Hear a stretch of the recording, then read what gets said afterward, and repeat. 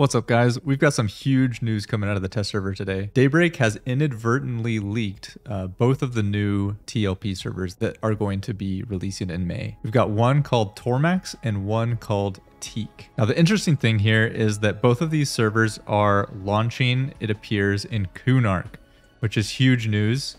I think most people in the community are ready for something that's not a classic release, so this is awesome.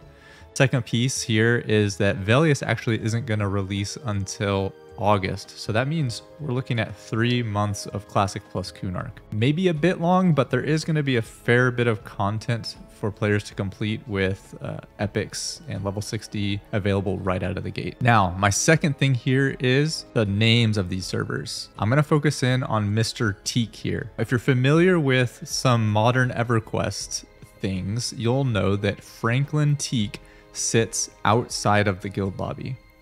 And Mr. Teek provides daily hot zone quests. Now, this is a bit of a conspiracy theory, but about a month or so ago, I actually posted on the forums about an idea of having basically basically glorified hot zones.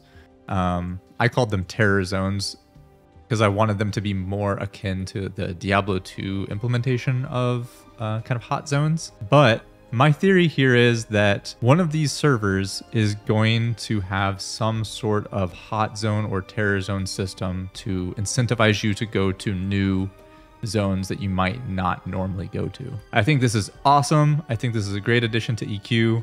I want to be pushed outside of the normal box that we play in. Super excited for the possibility of this. Other than that, there's not any real hint to the rule set of these servers. The timeline, starting from Velious and moving forward, is all standard fare for uh, modern TLPs. There's no hint as to whether or not these might be mischief servers or not other than what Jay Chan has already said. I still think both of these servers, whether there's some sort of hot zone implementation or not, will both be mischief servers. And in fact, I think they both might need overflow servers. One piece of feedback I do have, you can actually go into the calendar and go look all the way out until March of next year. They did not make any changes to the pop LDON cadence.